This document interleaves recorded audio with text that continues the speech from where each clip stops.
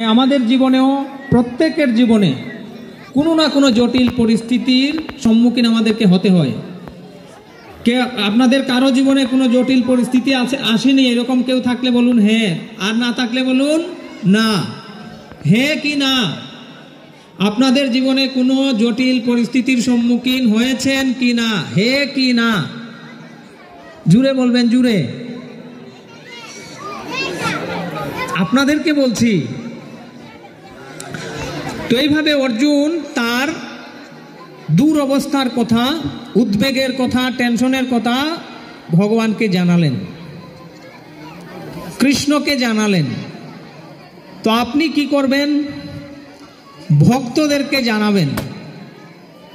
যে সমস্ত ভক্ত আজকে এই শ্রীমদ্ ভগবদ গীতা দানের আয়োজন করেছেন, তারা এই শ্রীমদ্ ভগবদ গীতা অনুষ্ঠানের পরেও আপনাদের সাথে যোগাযোগ রাখবেন।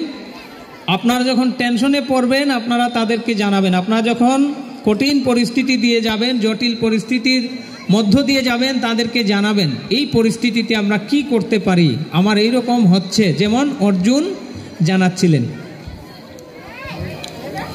কৃষ্ণ অর্জুনকে তার এই অবস্থা দেখে সমাধান দিচ্ছেন। অর্জুন কি, অর্জুনের কি করা উচিত? অর্জুন দ্বিতীয় অধ্যায়ে তেরো নম্বর, চোদ্দ নম্বর শ্লোকে এসে অর্জুনের এই কন্ডিশনের সমাধান দিচ্ছেন।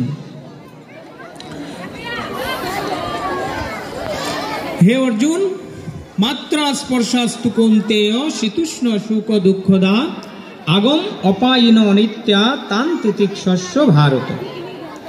হে অর্জুন, তুমি এখন যে পরিস্থিতির মধ্যে আছো, দুঃখময় পরিস্থিতি এই দুঃখময় পরিস্থিতি প্রত্যেকের জীবনেই আসবে, প্রত্যেককে এই দুঃখের সম্মুখীন হতে হবে। আবার এই দুঃখ প্রতি আবার বেশি দিন থাকবে না, কিছুদিন পরে আবার সুখ আসবে। এই যে পরিস্থিতি, এটি হচ্ছে সাময়িক সুখ এবং দুঃখ গমন আগমন করে কিসের মতো? শীত, উষ্ণ, সুখ দুঃখদা শীত এবং গ্রীষ্ম ঋতুর গমনাগমনের মতো। এখন কোন ঋতু চলছে? শীত ঋতু। এই জন্য এখন শীত। এই শীত ঋতু যাওয়ার পরে কি আসবে? গরম। তো শীত এবং গরম যেমন গমনাগমন করে, সুখ এবং দুঃখ গমনাগমন করবে। তে যেহেতু গমনাগমন করবেই, তুমি কি করবে? দুঃখ আসলে কেঁদে ভাসিয়ে দিবে। আর সুখ আসলে আনন্দে নৃত্য করতে থাকবে, এরকমই চলবে লাইফ না, তান্ত্রিক শস্য ভারত।